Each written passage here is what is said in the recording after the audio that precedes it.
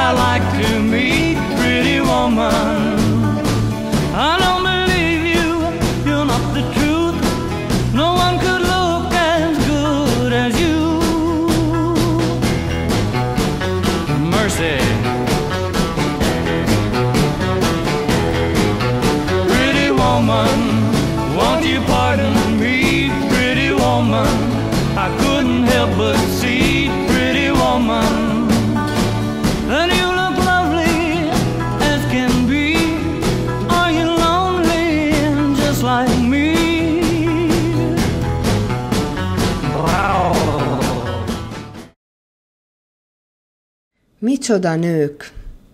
Hadd említsünk meg néhány nagyon tehetséges répcelaki lányt, akire bizony érdemes büszkének lennünk. Az egyikük Mihály Luca, akinek előadó művészetét már többször élvezhettük helyi fellépései alkalmával is. Luca édesanyja, Dalos Krisztina, ha százszor szép óvoda pedagógusa, közösségi oldalán tette közzé, hogy lánya meghívást kapott Budapest egyik leghallgatottabb rádiója, a Sláger FM tehetségkutató műsorába, ahol a Hangadó Rangadó nevű énekversenyen a legjobb öt énekes közé választották. A döntőre április 28-án pénteken került sor a Sláger reggeli műsorában. Gratulálunk Lucának az eredményeihez!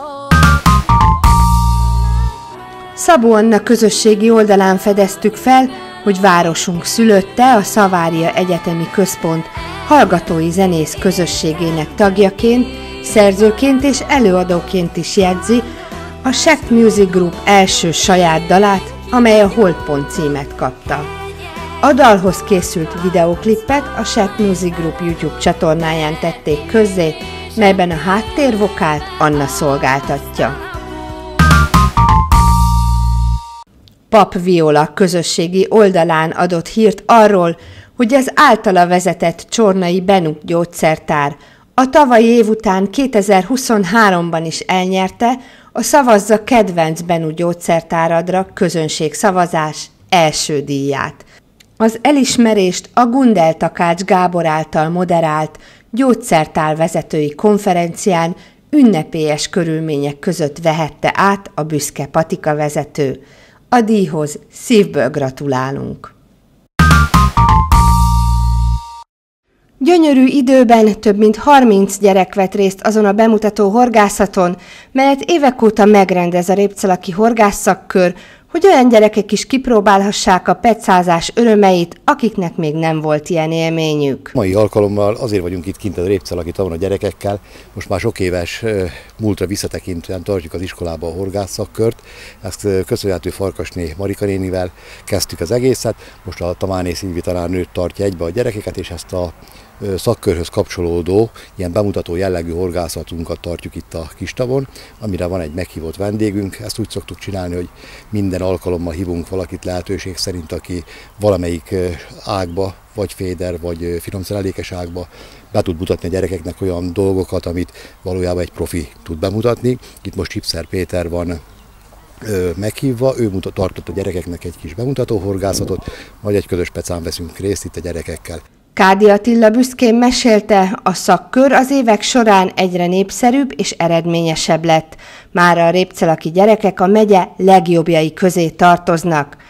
Az egyesületi vezető hozzátette, a szakkör két csapatával természetesen idén is, mint évek óta mindig, elindultak a megyei iskolai versenyem. Tavalyi évben sikerült a két csapatnak első-második helyet megszerezni. Most az első levelező forduló alapján szintén a két csapatunk az első és második helyen holtversenybe egymással várja a következő fordulót. A bemutató horgászat napján a résztvevők zömét természetesen a szakkörösök tették ki, de azért akadtak olyanok is, akiknek újdonság volt a vízpart varázsa. A tópart a nap folyamán megtelt a résztvevő gyerekek családtagjaival, és együtt remek hangulatban töltötték el a napot, délben szalonna és virsli sült Horváth Lajos felajánlása nyomán, a desszert pedig Tótné Gizanéni jóvoltából palacsinta volt. Hazai pályán zárta az idei szezont a szuperligás tekecsapat. Az ifjúságiaknál nyitott volt még az a kérdés, hogy sikerül-e megszerezni a harmadik helyet. Azt hiszem ifjúságiban most már elég régen sikerült szuperligába érmetet szereznünk. Talán az idejét sem tudom megmondani, hogy mikor. Én úgy gondolom, hogy most már van egy nagyon jó fiatal gárdánk. Mai napon is sikerre tudták vinni a mérkőzést. A mai nap volt a legfontosabb, hisz vagy a Szeged, vagy a Répcalak csapata, aki diadalmasodik, annak lesz a bronzérben. Én úgy érzem, hogy a mai napon mi egy kicsit jobban tudtunk koncentrálni, a hazai párt egy kicsit jobban ki tudtuk használni, úgyhogy 4-2-re sikerült győznünk. Én ezúton is gratulálok nekik az egész éves teljesítményükhöz. Én azt gondolom, hogy elég jó előjelek az, hogy az ifjúsági csapatunk a felnőttekhez majd kopogtassanak az ajtón, és be tudjanak épülni adott esetben a felnőtt csapatba. A felnőtteknél ilyen értelemben már nem volt tétje a Szeged elleni rangadónak, hiszen a már biztos első és harmadik helyzet csapott össze. Tét nem volt, de izgalmak annál inkább. Én azt mondtam a csapatnak, annyit tudunk gurítani, mint amit a múlt héten hisz elmondtam, hogy akkörű eredménnyel tudunk egy jó meccset játszani velük. Szerintem itt az utolsó dobásig kélezett mérkőzést látott a nézőközönség. Egy halványat örültem volna, hogyha el tudom venni tőlük, a, vagy el tudjuk venni tőlük a veretlenségüket, de a 4-4-et azt hiszem ezen a szinten már nem kell megmagyarázni, aki Szegeddel 4-4-et tud játszani, az, az, az egy jó csapat. Bátor Gábor László főtitkár is a helyszínen tekintette meg ezt a nagy presztízsel bíró mérkőzést, és nem csalódott. Igen, azt gondolom, hogy egy fantasztikus mérkőzést láthattunk. Tét nélküli mérkőzésnek indult, de, de hatalmas izgalmak és, és az utolsó pillanatig kiélezett mérkőzés volt. Úgyhogy azt gondolom, hogy ez abszolút megmutatta ez a mérkőzés, hogy miért a Szeged és a Répcelak lett az első és a harmadik helyezett idén a Szuperligában. Az izgalmas végjáték és az eredményhirdetés után érem átadó ünnepségre is sor került. A főtitkár mellett Szabó József polgármester és Szabóné Novák Henrietta sportkörelnök köszöntötte a csapatokat, és együttes erővel átadták a jól megérdemelt érmeket. Kis Zsolt edző természetesen elégedett ezzel a bravúr bronzéremmel. Én mindig azt mondtam, hogy minden évben nehéz a bronzérem ebbe a bajnokságba. A számát sem nagyon tudom, azt mondom, hogy lehet, hogy most már Répszalnak azt kell mondani, hogy bronzos csapat. Én úgy tudom, hogy 9. bronzérmet szereztük meg. Igaz, mindenki azt mondja, hogy esetleg csak bronzérem, de a bronzéremnek is óriási nagy ereje van. Az idei év ez, ezt még talán magam sem hittem el fél évkor körülbelül, hogy szem talán több lemaradásunk volt az élmezőnyel szemben, mint, mint amennyi lehetséges volt, de minden mérkőzésen, minden meccsen tudtunk központosítani ebben a szezonban egyszer kaptunk ki, tehát ez a tavaszi szezon ez megmutatja azt, hogy ennek a csapatnak milyen ereje és milyen összetartó ereje van. Most lehet egy kicsit ünnepelni, de a megmérettetéseknek még korán sincs vége. A Magyar Kupában ugye még június elejével játszunk a Szentgothardal egy oda visszavágót, a Magyar Kupában is szeretnénk minél fényesebb és minél jobb eredményt elérni, illetve ugye a világbajnokságon is, akik érdekeltek a csapaton belül, illetve a Szeged csapatából is vannak többen szeretnénk minél jobb eredményt elérni. Hogyha egy érmet tudnánk elhozni a világbajnokságon, bármilyen színéremre, nagyon-nagyon örülnénk.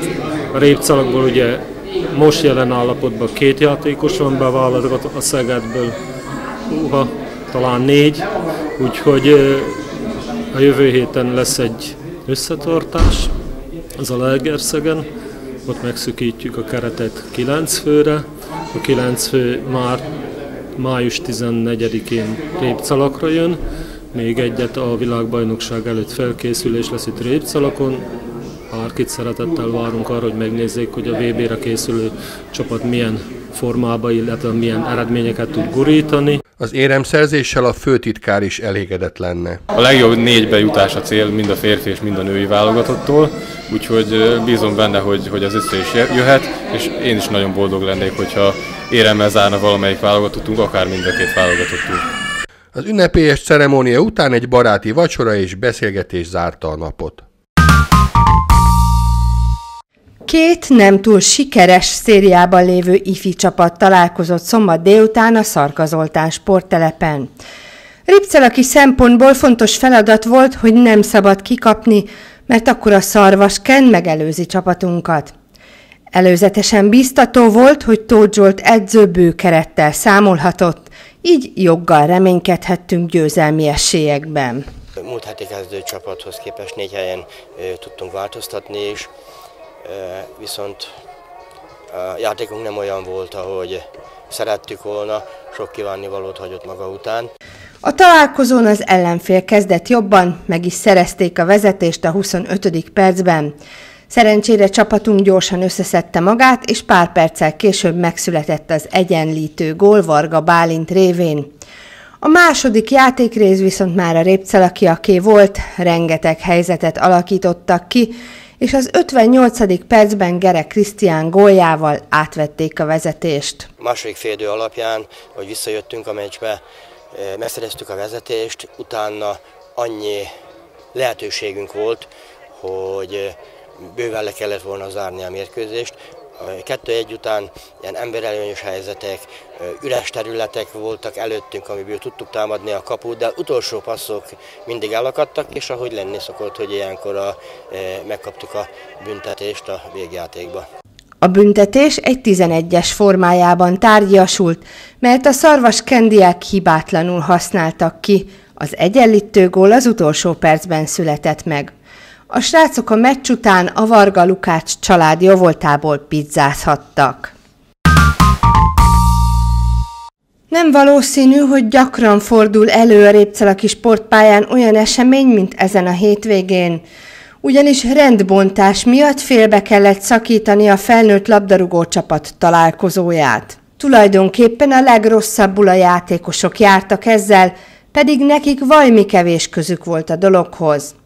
A találkozó papírforma esélyese a hazai pályán játszó, harmadik helyen álló Répcelak volt, ám De Paula Alex edzőnek nem volt egyszerű dolga a csapat összeállításánál, mert sok hiányzóval kellett számolnia, sérülések, betegségek és eltiltás is szűkítette a rendelkezésére álló keretet.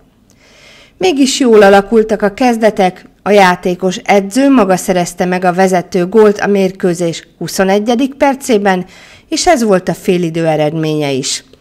A második játékrészben még hangsúlyosabbá vált a répcalaki fölény, de a sok kialakult helyzetből egyet sem sikerült gólra váltani. Én hibázom egy kicsit magamon, én már nem edzek. Én látszik, hogy rajta most kell egy csatár, ki mozog, meg minden már ez nekem már nem hiányzik, most ez éreztem, hogy kevés mozgás volt, de nem egyszerűen masszív csapat, erős csapat, ilyen, tudtuk, hogy nehéz meccs lesz. Alig negyed óra volt hátra a találkozóból, és úgy tűnt, hogy ha kissé keservesen is, de meg lesz a három pont, amikor a fókusz a pályáról a pálya mellé került át. Valaki dobta egy pahással a partjelző. Igen, meg kell várni még a döntés, hogy játszani kell tovább, vagy a három pont a miénk. Az MLS döntése csütörtökön délután született meg. A Szarvaskent csapatát megbüntették, a mérkőzést nem kell lejátszani, a Ripcelak pedig megkapja a három pontot. U14-es labdarúgó csapatunk két meccset játszott a héten. Hétfőn egy elmaradt találkozót pótoltak a Rum ellen. A hatodik helyen álló csapat két győzelem után érkezett Répcelakra, srácaink pedig egy több meccs óta tartó negatív sorozatot követően várták a mérkőzést. Az első játékrészt nem hozott gólt, mezőnyben gyűrték egymást a csapatok. A második játékrészben egy erősen véleményes szituációt követően büntetőt kapott az ellenfél. A 11-est Tamási Kristóf remek ütemben hárította ugyan, de a játékvezető úgy látta, hogy a lepattanó labda teljes terjedelmében a gólvonal mögé érkezett, így aztán Kristóf hiába gyűjtötte be a játékszert, megadta a gólt. Csapatunk szerencsére nem tört le az ítélet nyomán, Őri Gergő lövése megpattant az egyik védőn, és a kapuban landolt, ezzel lett egy-egy. A hátralévő időben több helyzetet is kialakítottak játékosaink, és lelkesen küzdöttek az egyre parázsabb hangulatú találkozón. A végeredmény az egy-egyes döntetlen maradt, melyel csapatunk egyet előre lépett a tabellán. Két nappal később szerdán János házára utaztak a srácok, ahol nagy arányú vereséget szenvedtek a hazaiaktól. Csapatunk két gólját Linter Zsombor szerezte. U11-es kisfocistáink jó időben szép létszámmal utaztak a hétvégén Sárvárra. Tóth Dávid edző örömére és elégedettségére mindkét csapat 10-10 fővel állt fel. Az egyes gárda két győzelem mellett egy döntetlent ért el, de a játékkal ezúttal nem voltam túlságosan elégedett, kommentálta a látottakat a tréner, kevés volt a labda nélküli mozgás és a labda járatás. A kettes csapat négy meccséből hármat megnyert, az edző meglátása szerint a fiatalok egyre jobban kezdik felvenni az U11 ritmusát, amit jó iránylag látott Dávid, aki büszke volt az egész brigádra.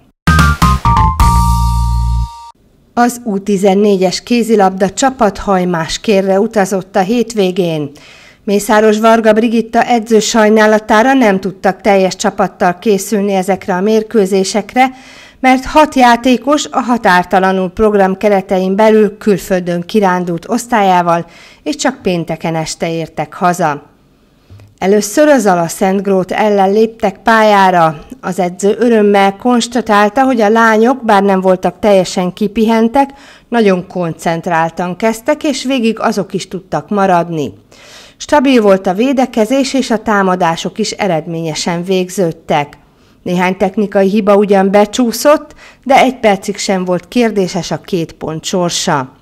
A második mérkőzésen az Egerszegi KK ellen léptek pályára. Csapatunk a 17. percig vezetett két góllal, de a pihenőre már egál eredménnyel vonultak. A második félidőben kiki játék zajlott, hol az egyik, hol a másik csapat vezetett. A végére úgy tűnt, hogy meg lesz a meccs, még három perccel a sípszó előtt is két gólos előnyben voltak lányaink, de aztán következett három eladott labda, és egy perc múlva már az ellenfél jutott előnyhöz. Időkérés után sikerült kiegyenlíteni ugyan, de sajnos a lefújás előtt 7 másodperccel még egyszer betaláltak a kapunkba. Nagyon csalódottak voltunk, szerettük volna ezt a győzelmet. Én is hibáztam, az időkérést nem szabadott volna ennyire kitolnom a végére, kommentálta a tréner, aki ettől függetlenül büszke csapatára, mert bár fáradtan, és volt, aki nem is a legegészségesebben, de végig küzdötték a mérkőzéseket. A következő fordulót május 13-án Nemesvámoson tartják, az ellenfelek a Szent Király Szabadja és az ETO csapatai lesznek.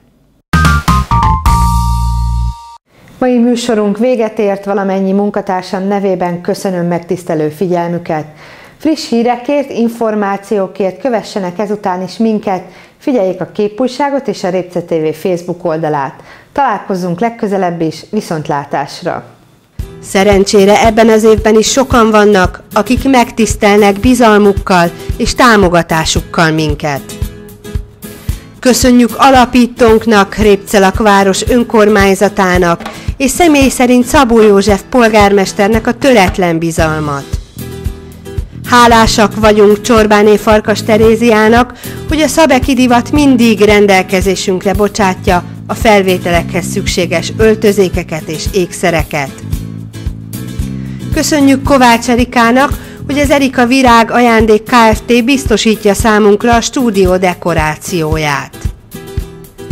Vargánék Levik hajnalka a Bindvid Szépség stúdióban hosszú évek óta készíti a bemondó frizurát, köszönet érte. Szintén köszönjük a Celkábel, a Celdömölki Kábel Televízió minden nemű segítségét működésünkhöz. Hálásak vagyunk a Szavenci az ERT nagy lelkű támogatásáért. Köszönettel tartozunk az Abért Autó Kft. partneri együttműködéséért. Szívből köszönjük a Répcelak és Vidéke Kereskedelmi és Szolgáltató Kft., a Renovo üzlet, a Prima Optika és a VS Trans Kft. hosszú évek óta tartó segítségét. Nagyon szépen köszönjük Kis János és Kis Dávid egyéni gazdálkodók régóta tartó támogatását. Nagy öröm számunkra a Horváth Westbau Kft. és a Lakoma étterem bizalma is köszönet érte. Hálásak vagyunk legnagyobb hirdetőink, a Rába Patyítetőbolt üzlet, a Resti Pizza, a Sárvári Szőnyegcentrum és Matracház, az Emmer ablak, valamint Molnár Erik és Szabó Norbert vállalkozók bizalmáért. Köszönjük!